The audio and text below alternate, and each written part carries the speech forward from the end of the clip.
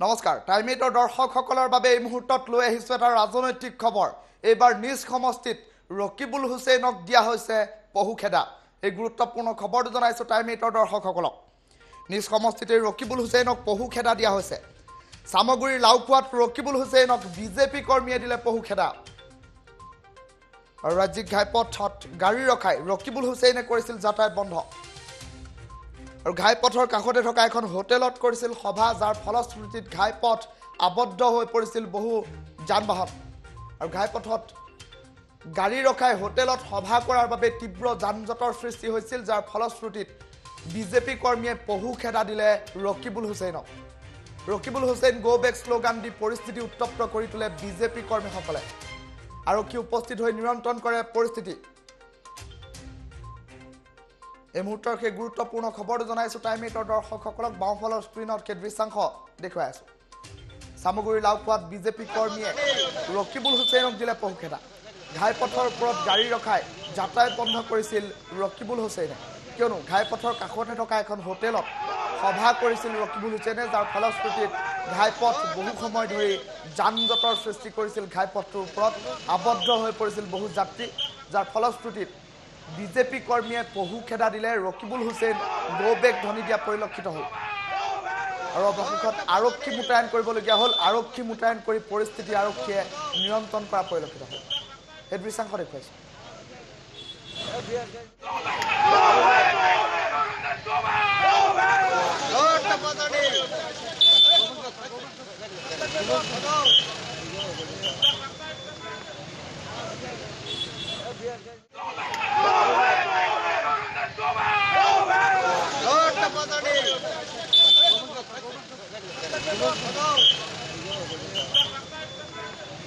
স্থিতিত ৰকিবুল হুছেইনক পহু খেদা দিলে বিজেপি কৰ্মীয়ে। আৰু এখন সভাৰ বাবে ঘাইপথৰ কাষতে থকা এখন হোটেলত সভা কৰিছিল ৰকিবুল হুছেইনে। ৰাজপথত গাড়ী ৰখাইছিল আৰু তাৰ ফলশ্ৰুতিত ৰাজপথ আবদ্ধ হৈ পৰিছিল। ৰাজপথ আবদ্ধ হৈ পৰাত বহু যান জঁটৰ সৃষ্টি হৈছিল। বহু যান বাহন বহু সময় ধৰি আবদ্ধ হৈ থাকিবলগীয়া হৈছিল ৰকিবুল হুছেইনৰ গাড়ীৰ বাবে। তেনে পৰিপ্ৰেক্ষিতত বিজেপি কৰ্মী সৰব হৈ পৰা পৰিলক্ষিত হ'ল। ৰকিবুল হুছেইন গো বেগ ধনি দিয়া পৰিলক্ষিত হ'ল। পৰিস্থিতি উত্তপ্ত হৈ পৰিল। মন্তব্য আছে শুনাই লৈছোঁ। আজি অলপ আগত নেশ্যনেল হাইৱেত লাওখাম চাৰিআলিত এনেকৈ এটা জেগা য'ত মানে গাড়ী ৰখাবলৈ জেগা নাই। তাত হাই নেশ্যনেল হাইৱে ৰাস্তা বন্ধ কৰি ৰকিবুল হুছেনে ইয়াত চাহ বন খাব সোমাইছে।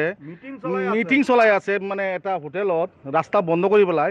তো আমি বিজেপি কৰ্মীয়ে আমি চব সকলোৱে পৰা নাই। তো আমি সকলোৱে তাক আমি ইয়াৰ পৰা পহু খেদা দিছোঁ। দিছোঁ। আৰু তাক এনেকৈ কৈছোঁ যে তেখেত যাতে ইয়াত আৰু নাহে।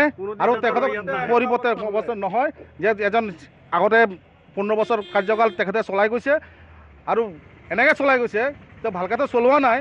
যে সি মানুহৰ নিচিনা যেনেকৈ চলাব লাগে তেনেকৈ চলাব বিচাৰি চলাক নহ'লে অন্যথা বাদ দিয়ক।